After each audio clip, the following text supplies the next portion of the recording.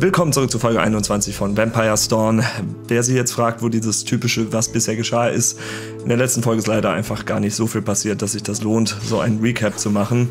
Denn wir waren in der Höhle von Tradan und haben da ein paar Gruft-Zombies und Skelette zerstört. Das war im Wesentlichen alles, mehr gab es in dieser Folge nicht. Ähm, und ich befinde mich jetzt in der Gegend von Melsan. Warum das? Weil ich abermals wieder Silber weggebracht habe. Und für diese Episode habe ich jetzt einen Plan. Und zwar, es gibt diese, ich glaube Tessa heißt sie, die Stadt, die äh, Jahrmarktsstadt. Und da ich ein, paar, bisschen Ausrüstung verkauft habe, Silber weggebracht habe, sollte ich jetzt ähm, ausreichend reich genug sein, um mich hier zu verdingen. Um hier ein bisschen auf dem Jahrmarkt zu erkunden, ein paar Minispiele mitzumachen. Und vielleicht lässt sich da ja was gewinnen, was uns weiterhilft ähm, in unserer Quest nach Eichstatt zu suchen. Deswegen, jetzt kommt die äh, Jahrmarkt-Episode. Alles klar. So, dann gucken wir doch mal. Ich glaube hier, das war das richtige Haus Reden Jahrmarktverwalter. Hallo, ihr seid bestimmt hier, um eine Punktekarte zu kaufen, oder? Was ist denn eine Punktekarte? Mit dieser Karte könnt ihr in allen Attraktionen dieses Jahrmarkts Punkte sammeln und diese dann im Lager gegen nützliche Dinge umtauschen. Die Karte kostet nur 500 Fila. Na komm. Prima, dann gebt mir bitte das Geld. Hier bitte. Danke. Und hier ist die Karte. Eine Payback-Karte erhalten. Wunderbar. Mithilfe dieses wunderschönen äh, Objektes kann ich dann wahrscheinlich diverse Minispiele mitmachen. Fange ich doch einfach mal mit diesem hier an. Was haben wir denn da? Verwalterin beim Armdrücken. Hallo, wollt ihr vielleicht beim Armdrücken mitmachen? Wenn ihr gewinnt, gibt's viele Punkte. Ihr braucht aber eine Punktekarte. Die habe ich doch. Na sicher habe ich die. Hm, könntest du es erklären? Aber sicher, also ihr könnt gegen drei Gegner kämpfen. Da wäre zuerst Vallo der Verlierer. Alles klar. Er gewinnt fast nie, deswegen nennt man ihn den Verlierer. Dann wäre da noch Carlos der Schmied. Er verdient sich hier nebenbei ein paar viele extra. Er hat schon mehr Kraft als Velo. Aber unser richtiger Muskelberg ist Rikus der Armzerquetscher. Vertrauensvoll. Ja, gegen den möchte ich definitiv beim Armdrücken antreten. Wenn er kämpft, bricht er dem Gegner öfters den Arm. Also das nur als Warnung vorweg.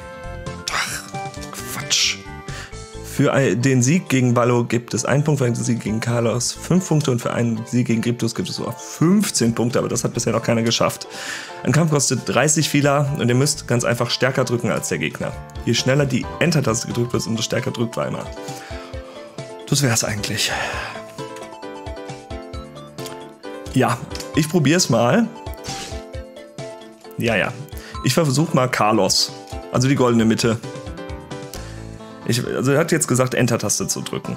Jetzt bin ich natürlich ein schlauer Dude mit einer 10er-Tastatur und ich würde dann einfach auf beide Enter-Tasten drücken. Auf die Enter- und auf die Return-Taste. Und ich probiere das jetzt. Kann sein, dass es jetzt ziemlich laut wird. Aufgrund meiner äh, Lichtgeschwindigkeit, mit der ich hier diese Tasten drücke. Gegen wen wollt ihr antreten? Ich probiere Carlos. Komm schon. Na, dann nimm auf dem linken Stuhl Platz.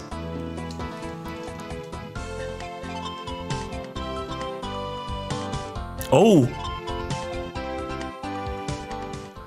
3, 2, 1, los! Hilfe!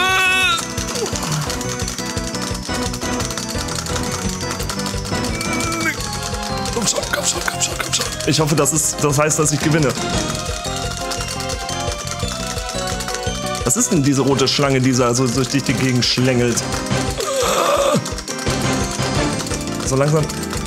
Boah, so langsam tut's weh.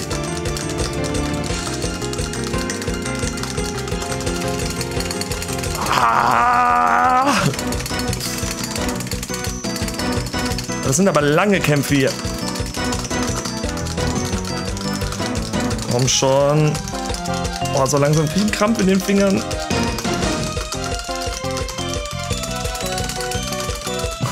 Gottes Willen, das sieht so falsch aus, glaube ich, wenn man nur das Bild anguckt. Wann habe ich die Scheiße denn jetzt endlich gewonnen? Oh.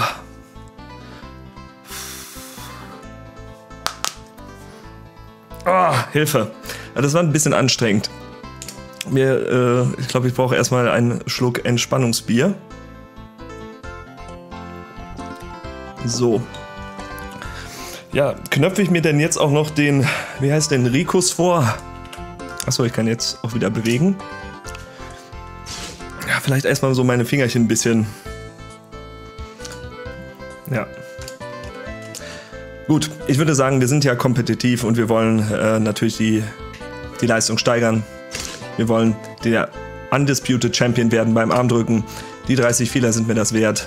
Und dann ohne Gnade, Rikus. Na, dann nimm auf dem linken Stuhl Platz. Dann geht's los. Oh, er sieht auch schon sehr quaderförmig aus. Ich drücke jetzt mal nicht so ganz schnell. Vielleicht reicht das ja.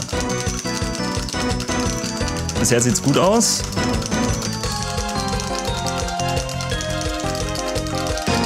Diesmal strenge ich mich nicht ganz so sehr an. Ist ja nur der Champion. Ich hätte am liebsten hier so eine Kamera, die euch das darstellt. Ja.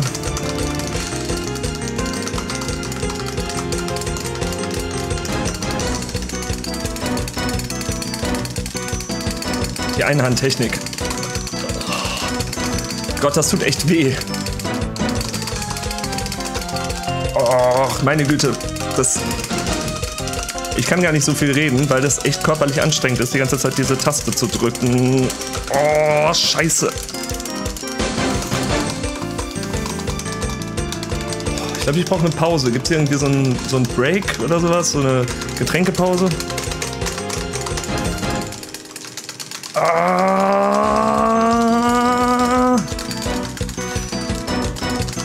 Ja, es sieht gut aus. Also wir befinden uns auf der Zielgeraden gegen Rikos, den äh, Fleischklopf-Abendzerdrücker.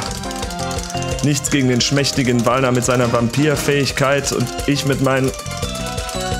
Ah, ich werde morgen Muskelkater in den Fingern haben, das kann ich euch prophezeien. Ich bin ja auch keine 20 mehr. Komm, nur noch ein bisschen... Oh.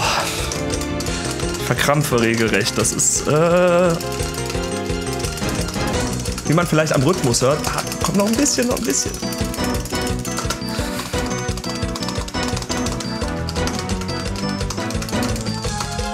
Meine legendäre beidhändige Doppel-Enter-Technik.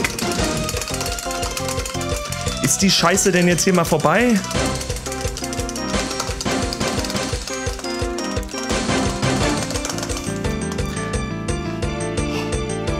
Who's your champion? Was? Ich habe verloren. Unfassbar. Wirklich unglaublich. Äh, ich schreibe euch volle 15 Punkte auf die Karte. Yes! So, ähm, ich bin der Undisputed Champion im Armdrücken. Was sagt er? Hallo, ich bin Willow. Wenn ihr gegen mich kämpfen wollt, dann sprecht mit Sarah, der Verwalterin hier. Alles klar? Boah. Carlos, hallo, ich bin Carlos. Wenn ihr gegen mich kämpfen wollt, dann sprecht mit Sarah. Okay, wahrscheinlich wird er das gleiche sagen. Ich habe ihn auf jeden Fall besiegt. Sagt sie jetzt irgendwas Spezielles? Hallo? Nein, im Moment nicht. Ich habe jetzt gewonnen. Ich bin der Champion. So, was haben wir hier? Hier haben wir das Hütchenspiel. Das ist natürlich hochseriös. Hallo, hier ist das Attraktionszelt Such die Perle. Ihr braucht aber eine Punktekarte, um die Attraktion nutzen zu können. Hier, wir haben eine. Wollt ihr dann die Attraktion nutzen? Sie kostet 50 Fila. Eine Erklärung bitte. Natürlich, das Spiel ist ganz einfach. Unter einer Kokosnuss liegt eine Perle. Ich werde die Kokosnuss mixen und ihr müsst erraten, unter welcher die Perle liegt. Es gibt drei Schwierigkeitsstufen. Auf Stufe 1 gibt es einen Punkt, auf Stufe 2 gibt es zwei Punkte, auf Stufe 3 gibt es vier Punkte. Ja, machen wir doch mal. Also die besseres Preis-Leistungs-Verhältnis gibt es tatsächlich beim Armdrücken, aber ich glaube, wenn ich das nochmal mache, dann reißen mir hier alle Sehnen in den Arm.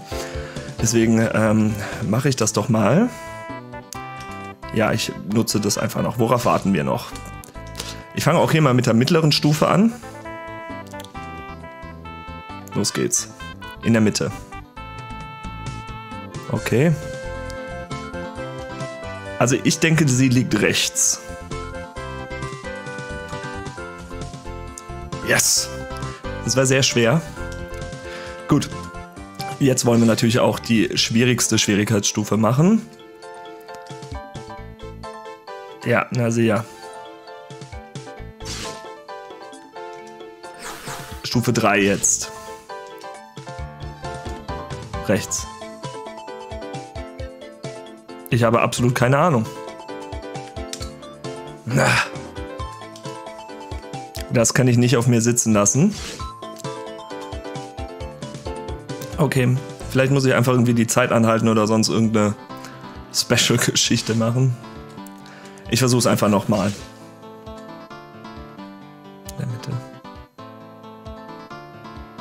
Ich habe keine Ahnung. Es ist mir zu schnell. Yes! Habe ich natürlich alles gesehen mit meiner Zeitlupen-Vision. Ne, es war geraten. Also gerade die, wo es so, also wenn sich das einmal dreht, dann sehe ich das ganz gut. Aber dieses links und rechts hin und her switchen bei der Geschwindigkeit, das ist einfach mörderisch. Aber auch ein blindes Huhn findet mal ein Korn. Hallo, hier ist das Attraktionszelt Schlachtfest. Ihr braucht aber eine Punktekarte. Ja. Ähm, Erklärung bitte. Natürlich, also das Spiel ist im Grunde sehr einfach. Ich werde um euch ein kleines Gebiet anschaffen, in dem in möglichst kurzer Zeit alle bösen Männer tötet. Je schneller ihr seid, umso mehr Punkte bekommt ihr. Okay.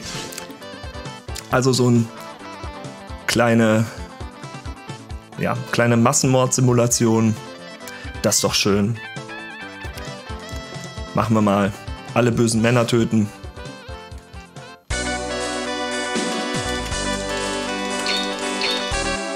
Okay.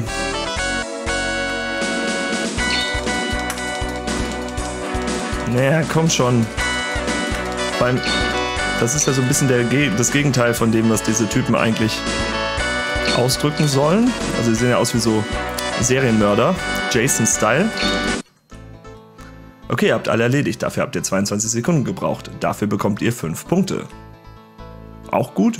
Auf jeden Fall besser als bei diesem vermaledeiten Hütchenspiel. Ich mache es jetzt einfach nochmal. Genau.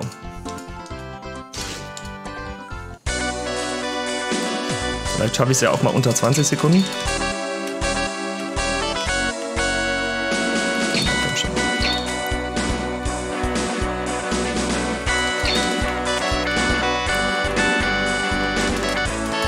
Okay, das wird mir jetzt teuer zu stehen kommen.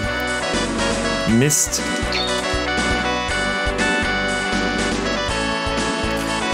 Mensch, er rennt mir aber wirklich jetzt bis ganz weit weg.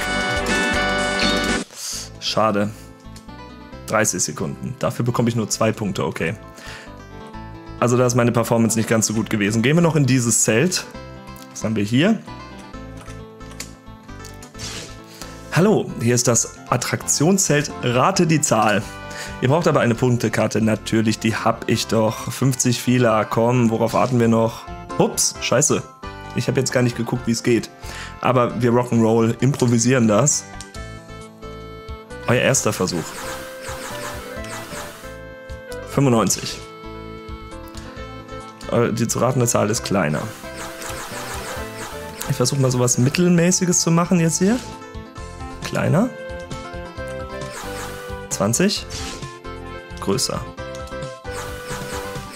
30. Größer. 35. Größer. Hm, ich sag mal 37. Größer noch? 38. Ach Mensch. Okay. Jetzt versuche ich das mal mit Intelligenz zu lösen. Also, ich gucke mir jetzt doch noch mal an, wie, wie die Erklärung funktioniert oder tue es auch nicht und drücke einfach drauf. Also, wenn ich immer die Mitte nehme von diversen Zahlen, ja, das heißt, ich nehme immer, also es geht ja bis 99, dann nehme ich jetzt mal die 50. Und dann sollte ich ja das relativ schnell gut eingrenzen können. Größer. Größer als 50. Dann nehme ich mal die 75, weil das die Hälfte zwischen 50 und 99 da so in der Mitte liegt. Kleiner. Dann sind es, äh, ich glaube 62 müsste es sein. Größer. Dann nehme ich mal 70. Oder? Kleiner? Ähm, Oh Gott. 68 muss es dann sein. Ach nee, ich hatte ja 62. 64? Mensch! Die 66, ja meine Güte. Ich mach das jetzt nochmal. Ich verbrate meine ganzen Fehler jetzt für irgendwelche billigen Taschenspielertricks. Und jetzt hole ich mir die Erklärung an, natürlich. Sehr einfach. Ihr werdet meine Zahl denken, ihr habt sechs Versuche, diese Zahl zu erraten. Dann habt ihr zwei Punkte, denn ja. Ja, gut. Dann reden. Das machen wir. Diesmal habe ich es im Gefühl, werde ich das sofort erraten.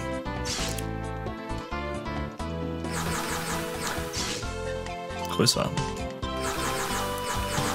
Hm. Mal 87. Größer noch. Dann sage ich mal 94. Noch größer. Dann nehmen wir mal 98. Kleiner. Ich nehme 97. Ach Mensch. Okay, jetzt reicht's mir. Ich werde jetzt nicht mein gesamtes Budget für irgendwelche Taschenspielertricks ausgeben. Unfassbar. Wie man hier über den Tisch gezogen wird in Tessa. Was sagt er?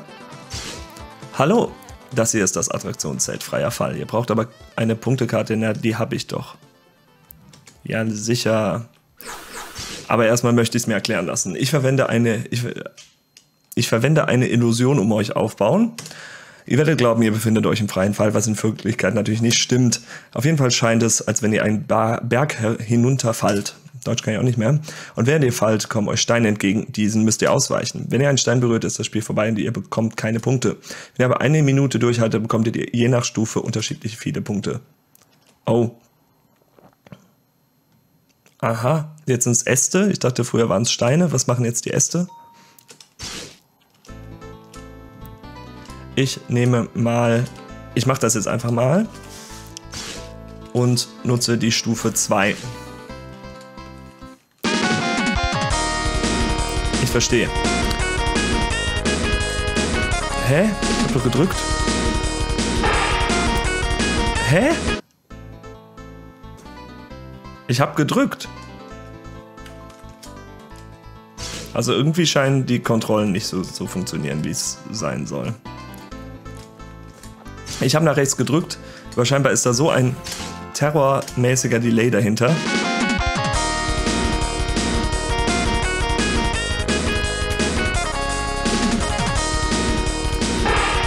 Ich hab doch gedrückt! Was ist das denn? Ich drücke. So, jetzt nochmal. Ich verstehe es nicht. Ich drücke nach links und es passiert nichts.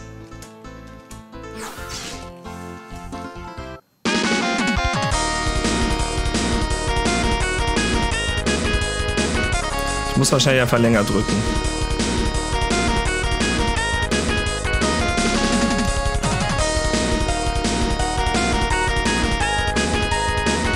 Okay. Es scheint wirklich das letzte Lösung zu sein, einfach länger zu drücken.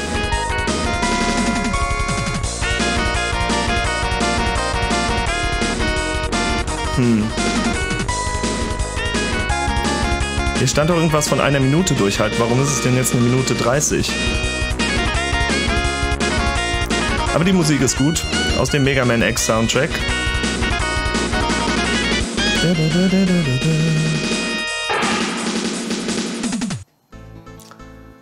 Ach nein, diese Steuerung. Ich würde es mir selbst ja ankreiden, aber es ist leider nicht responsiv. Was haben wir denn sonst noch an Attraktionen? Wer bist du? Hallo, hier ist das ich bin heute irgendwie trigger-happy. Ich drücke irgendwie die ganze Zeit auf Tasten, auf die ich nicht drücken sollte. Ich gucke mir mal an, wie die jetzt heißt. Todesstrecke. Ja, das klingt ja einladend. Ähm, ja, mein Gott, ne? Habe ich ja alles da. Eine Erklärung bitte? Natürlich. Ich werde eine Illusion um euch aufbauen, natürlich. Ihr müsst innerhalb dieser Illusion ganz einfach zum Ziel laufen. Dazu müsst ihr auch springen, was ihr mit der Enter-Taste bewerkstelligt. Zum Springen müsst ihr aber stehen bleiben, ansonsten springt ihr nicht. Dabei müsst ihr so den Gegnern ausweichen. Wenn ihr Gegner berührt, ist das Spiel vorbei und bekommt keine Punkte. Okay, dann versuche ich auch hier mal Stufe 2 direkt.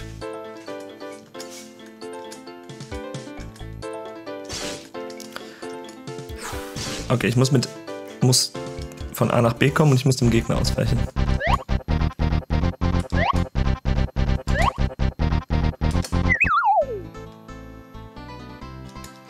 Ich verstehe, runterfallen kann man also auch. Dann versuchen wir das jetzt nochmal.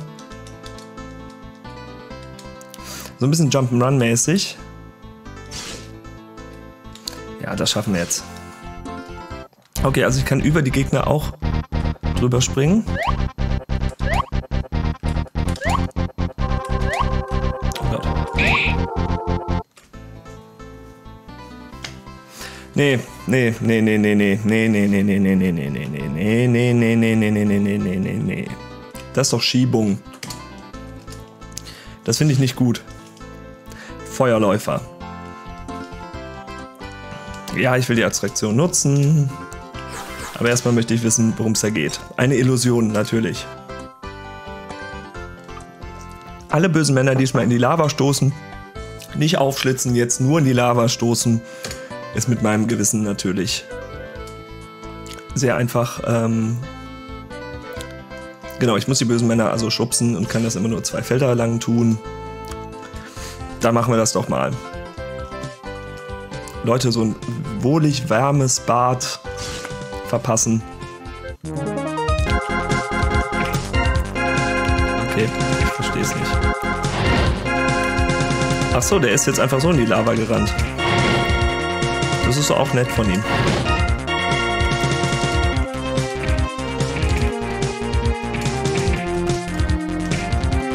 Okay, das macht es ein bisschen schwieriger. Nein. 25 Sekunden. Ein Punkt? Oh, das ist nicht, nicht viel. Ich probiere es nochmal. Gut fand ich, dass einer der Gegner sich ähm, freiwillig dem Freitod hier gegeben hat. Mensch. Okay, das wird nix.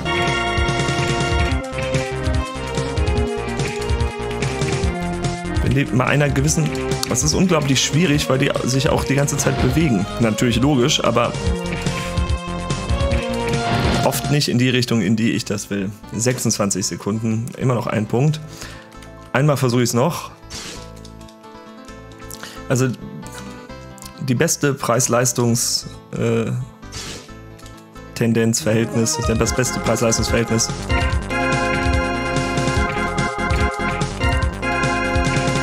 Mann.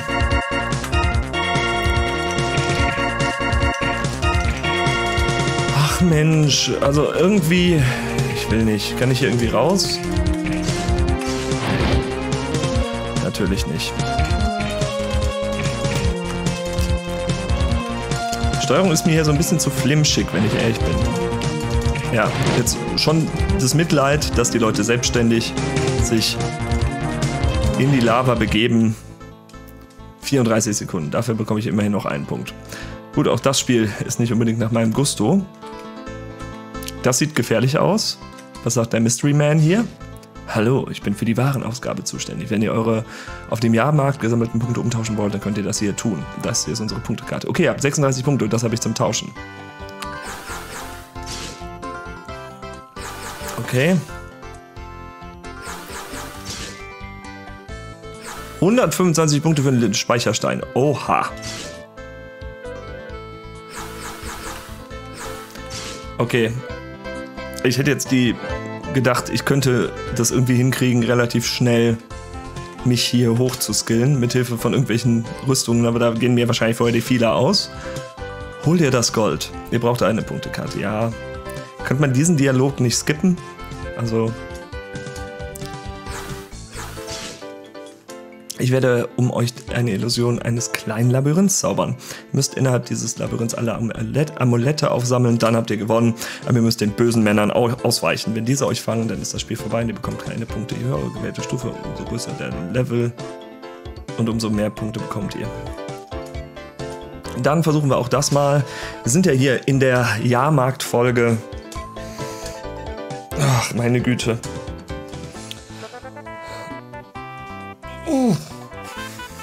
So. Dann nutzen wir auch wir hier auch mal Stufe 2.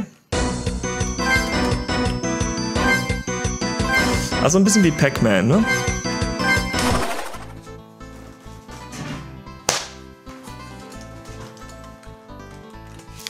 Wie Pac-Man in sehr frustrierend. Ich bin einfach nicht gut in solchen Spielen. Ich bin eigentlich gut in gar keinen Spielen. Aber das ist ja wurscht.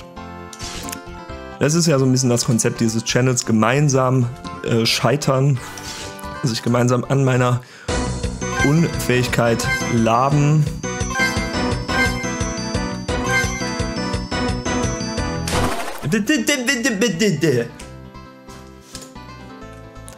Gut, lassen wir das. Auch das ist nicht mein Spiel. Bleibt noch dieses Etablissement hier. Wie viel Fehler habe ich noch? Ah, 687. Komm, was kostet die Welt? So jung kommen wir nicht mehr zusammen. Das scheint mir ein Würfelspieler zu sein. Ja, ähm, eine Erklärung bitte. Natürlich. Also das Spiel ist im Grunde sehr einfach, wie alle Spiele.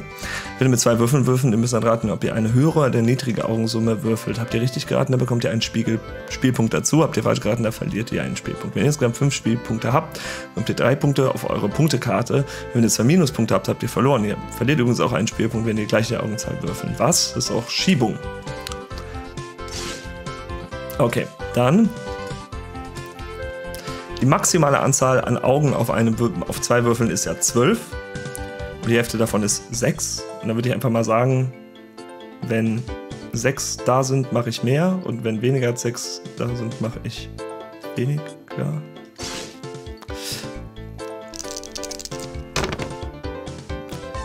Eine 6 gewürfelt. Ich würfel eine höhere, weil ich leistungsorientiert bin. Perfekt.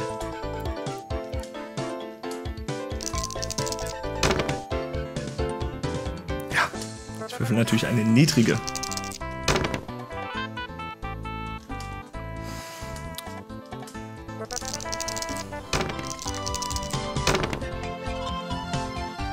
Ja, das sollte doch klappen. Oh, gut. Jetzt habt ihr fünf Spielpunkte. Gut. Toll. Damit habe ich drei Payback-Punkte erlangt. Das ist doch Weltklasse. So, welche komischen Spielunken gibt es hier sonst noch? Was macht er? Schnappt den bösen Kerl. Ist das. Ist das, wie, ist das das, was ich schon habe? Ah ja, möglichst oft den bösen Kerl mit der Maske erwischen. Okay. Okay, dann probieren wir das jetzt mal. Also kleines Mädchen erwischen nicht gut, bösen Mann erwischen sehr gut. Kann aber sein, dass die auf dem gleichen Feld stehen.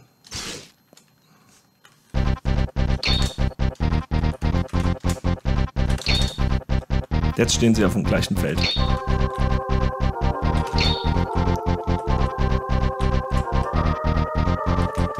Nein, schaffe ich doch niemals.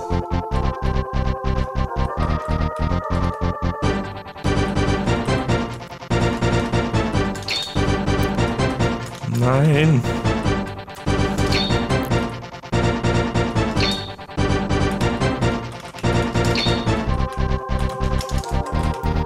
Ja, ich wirke sehr konzentriert, das stimmt auch. Das gar nicht so einfach ist, weil man ja auch in die richtige Richtung gucken muss. Ja, das wäre knapp gewesen jetzt.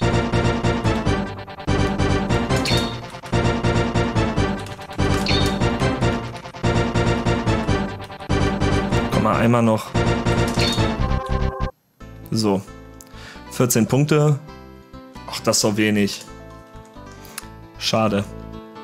Dann noch hier oder war das doch? Das war das Eindrücken. Gut, damit bin ich durch alle Attraktionen, glaube ich, mehr oder weniger, weniger mal durch. Das war hier der Punkteverwalter, Scorecard, Dude. Habe ich das hier schon? Ich glaube schon, ne? Doch, das war der Hütchenspieler. Nun gut, also so viel dazu. So viel zu der kleinen Jahrmarktsepisode. Ich habe die ganzen Jahrmarkts-Quests jetzt, denke ich mal, erkundet. Hoffe ich, nehme ich an. Und würde dann sagen, das war es auch soweit mit der kleinen Jahrmarktsfolge. Das war so eine kleine Teaser-Folge. Seht mir dabei zu, wie ich meine Tastatur verprügele oder frustriert spiele, äh, frustriert irgendwelche Minispiele absolviere. In der nächsten Folge werden wir uns dann wieder der Gruft zuwenden. Die ist ja hier fußläufig erreichbar. Und ja, dann würde ich sagen, vielen Dank fürs Zuschauen und bis zum nächsten Mal. Bye bye.